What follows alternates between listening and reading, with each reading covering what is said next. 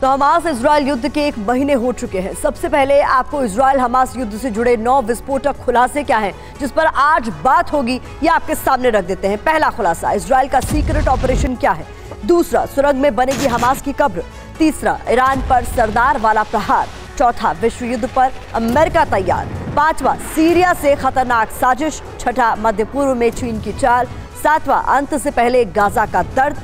आठवां इसराइल को नई ललकार। नौवा चालीस हज़ार हमास लड़ाके तैयार। और ये तमाम खबरें आपके सामने रखेंगे। नौ विस्फोटक खुलासे आपके सामने होंगे, लेकिन इस बीच बड़ी खबर आपको बता दें, जहाँ आईडीएफ के टनल ऑपरेशन का वीडियो सामने आया है।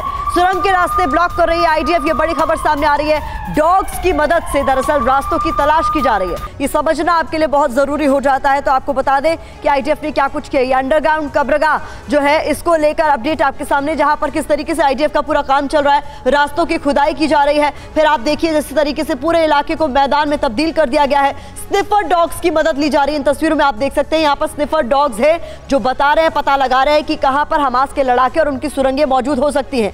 सुरंग की जो दरवाजे हैं, उनकी तलाश यहाँ पर करते हुए सैनिकों को साफ़ तौर पर देखा जा सकता है। और ये देखिए, जो आपको बड़े बड़े झूले नज़र आ रहे हैं, ये बताया जा रहा है अम्यूजमेंट पार्क है, जिसके पास से सुरंग का रास्ता निकल रहा है। साथ ही कुछ और तस्वीरें भी जल्दी से आप देख लीजिए, इस पर नज़र डालिए। दीवारों पर फायरिंग के निशान आपको नज़र आ रहे हैं। ये हमने आपको इंसर्कल करके दिखाया है, जहाँ पर वो गोलियों के निशान है। ये लाल निशान के भीतर जो है, वो गोलियों के निशान है। दीवारों पर फायरिंग है। जंगल उजाड़े जा रहे हैं तो तलाश किस तरीके से की जा रही है? बड़े बड़े वाहनों का इस्तेमाल किया जा रहा है, जो जंगलों को उजाड़ रहे हैं। इस ज़मीन को सपाट करने की कोशिश की जा रही है।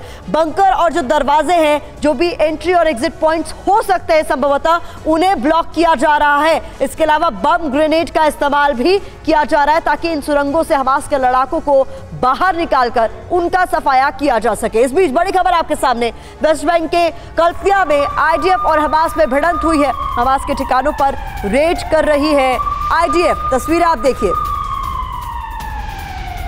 कई जगहों पर आमने सामने की झड़प भी यहाँ पर हुई है। आईडीएफ ने एक लड़ाके को गिरफ़्तार किया है। तो यहाँ बड़े पैमाने पर विरोध प्रदर्शन भी हो रहा है।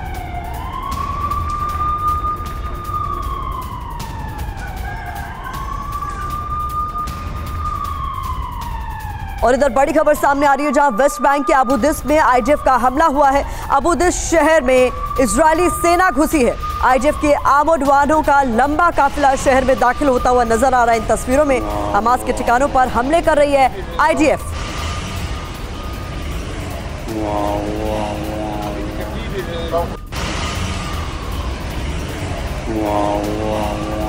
और आपको बता दें, इस बीच इन तस्वीरों के साथ ही खबर यह भी मिल रही कि कई महीने तक चल सकता है आईजीएफ का ऑपरेशन, जो हमास के खिलाफ चलाया जा रहा है। सुरंगों को तबाह करने में लगेगा, चूँकि लंबा वक्त ऐसे में ये माना जा रहा है कि ये ऑपरेशन लंबे वक्त तक चलेगा। ये तस्वीरें आपको हम लगातार दिखा रहे हैं, जिससे आप समझ सके कि हमास के टनल नेटवर्क को खत्म करना इस वक्त आईजीएफ के लिए सबसे बड़ी चुनौती है। और इसी कड़ी में हम ये तस्वीरें भी देख रहे हैं, जहाँ पर तमाम अम्यूजमेंट पार्क अस्पताल, मस्जिदें इसके आसपास की तस्वीरें सामने आई है, जहाँ हमास ने अपना ठिकाना बना रखा है। और इन तमाम ठिकानों को खत्म करने की पूरी कोशिश की जा रही है।